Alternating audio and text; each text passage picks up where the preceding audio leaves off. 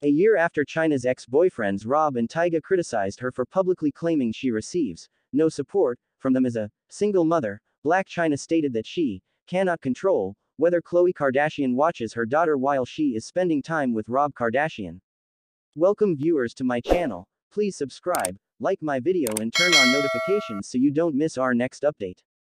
Blac Chyna got into a heated argument with Tyga and Rob Kardashian, her ex-boyfriends, exactly one year ago regarding the child support arrangements for each of them. For a fast piece of setting, Tyga and Chyna, who dated from around 2011 to 2014, share a 10-year-old child named Lord Cairo. She and Rob started dating a few years later, and they soon got pregnant with their daughter, Dream, who is now 6 years old. Ransack and Chyna's wild relationship turned out to be brief, with the pair heading out in different directions for good in 2017, under a year in the wake of opening up to the world about their improvised commitment. In 2021, Chyna stated that she was not receiving any support when it came to raising her children from Tyga or Rob. In response to criticism, Chyna said, It's called co-parenting. But greedy parents try to get child support because they're not doing nothing. Later, she said that Tyga and Rob were greedy parents.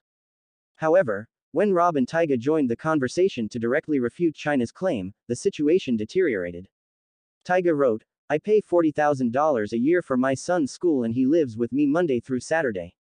I mean, why would I pay child support? Rob followed suit shortly thereafter, writing, My annual tuition to my daughter's school is 37k. I handle each and every clinical cost.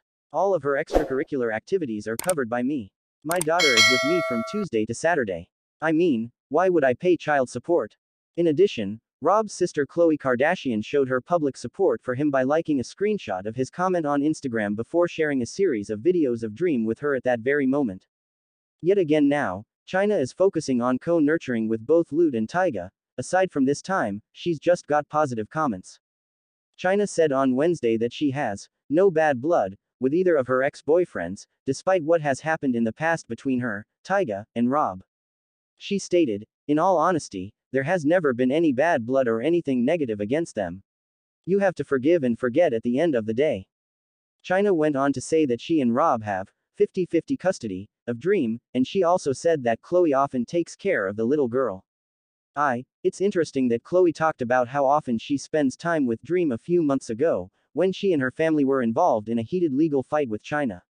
If you missed it, Chyna said that the Kardashians and Jenners deliberately pulled the plug on a second season of their former E!